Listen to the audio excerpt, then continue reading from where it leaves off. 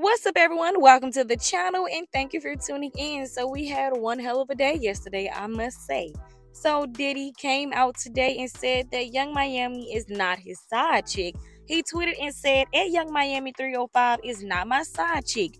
Never has been, never will be. She's very important and special to me, and I don't play about my shorty wop.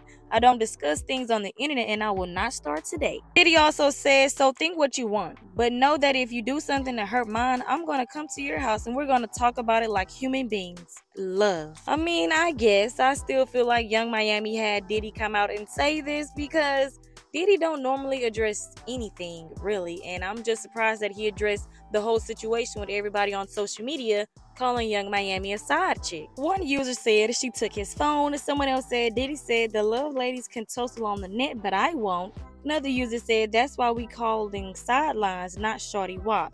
Someone else said, I ain't mad. She said, Daddy, get him. One right there just took me out because I can imagine Yung Miami now. Here, Poppy, tell him y'all ain't your side chick. Anyway, someone else said he damn sure ain't call her his lady or girl. Someone else said Miami wrote this, and a last social media user said, but you just discussed this on the internet. Now, you guys let me know your thoughts and opinions on this down in the comment section below. I mean, I feel like what the other comments said, he didn't say, oh, this is my lady or this is my woman because that's not the type of relationship that they had. They already know that they're single and they're dating each other and they're dating other people. Or should I say, Diddy is dating other people. Anyways, you guys let me know your thoughts and opinions on this down in the comment section below. Make sure you guys like, share, subscribe, and hit the notification bell. And as always, thanks for watching.